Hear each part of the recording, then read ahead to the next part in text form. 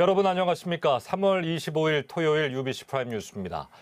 UBC 울산 방송은 선거 기간 시작 사흘째인 오늘 교육감 후보 초청 토론회를 개최했습니다. 김주홍, 천창수 두 후보는 상대 공약과 교육 철학 등을 두고 날선 공방을 벌였습니다. 배대원 기자입니다.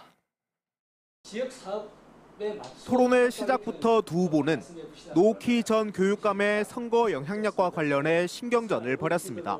후보자 본인의 무슨 생각을 하고 있는지는 알 수가 없습니다. 울산 교육감은 부부간에 세습할 수 있는 그런 가벼운 자리가 결코 아닙니다.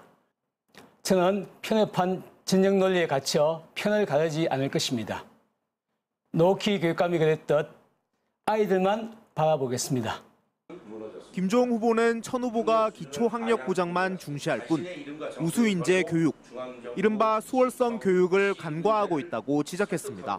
우수한 학력을 가지고 있는 학생들을 억압하는 방향으로 가서는 안 되는 거 아니겠습니까?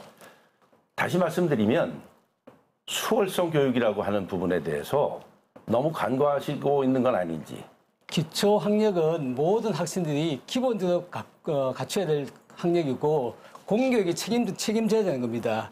그 이후에 할- 그 수월성 교육은 지금도 많이 하고 있습니다.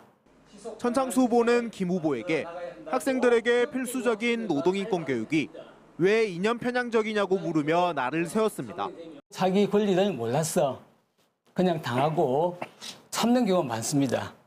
이것을 예방하기 위해서 노인권 교육을 실시하는데 이것이 왜 이념 편향적인지 학교에 교비를 써서 그 시간을 그 다섯 시간씩이나 일률적으로 이 교육을 받도록 하는 것이죠. 선택의 여지가 없이 저는 이건 아니라고 봅니다.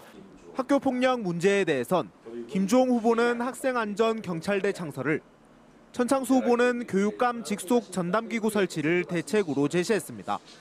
교육감으로서의 강점으론 천 후보는 교육 현장을 잘 아는 교사 출신임을 강조했고 김 후보는 시청 시의회와 긴밀히 협조할 수 있다는 점을 내세웠습니다. 또 두 후보 모두 과밀학급 해소와 특수교육원 설립에 대해선 한 목소리를 냈습니다. UBC 뉴스 배던입니다.